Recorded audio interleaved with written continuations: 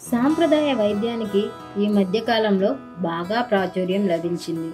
ప్రస్తుత కరోనా టైంలో ఎక్కడ ఎవరి నోట విన్నా మన సాంప్రదాయ ఆహార పదార్థాల గురించే వినబడుతుంది. నిజానికి ఇది మన వైద్య విధానం. ఇది మన సంస్కృతి సాంప్రదాయాలలో కూడా ఒక భాగమైన ఆరోగ్య విధానం. మనం బాగా అలవాటు పడిన వైద్య విధానం. అయితే ఏ వైద్య విధానాన్ని తీసుకున్నా కొన్ని సైడ్ ఎఫెక్ట్స్ అనేవి సాధారణంగా ఉంటాయి. అలాగే మన సాంప్రదాయ వైద్య విధానంలో కూడా కొన్ని కొన్ని పదార్థాలకు కొన్ని చిన్న చిన్న సైడ్ ఎఫెక్ట్స్ కూడా ఉంటాయి.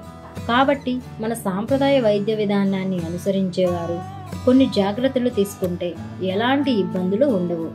ఎలాంటి పరిస్థితుల్లో డాక్టర్ సలహా లేకుండా సొంత మూలికల వైద్యం మంచిది కాదో ఇప్పుడు చూద్దాం.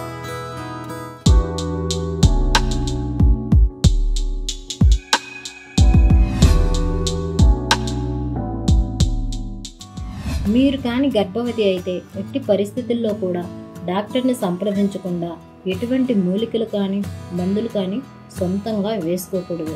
ఎందుకంటే ఆయుర్వేదక మూలికలు కొన్నిటిని ఎక్కువ మోతాదులో తీసుకోవడం వలన కొన్నిసార్లు గర్భస్రావం జరిగే ప్రమాదం ఉంటుంది.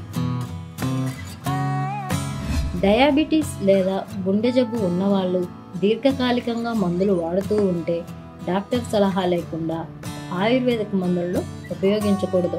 ఒకవేళ తప్పనిసరి అయితే డాక్టర్ సలహా తీసుకోండి.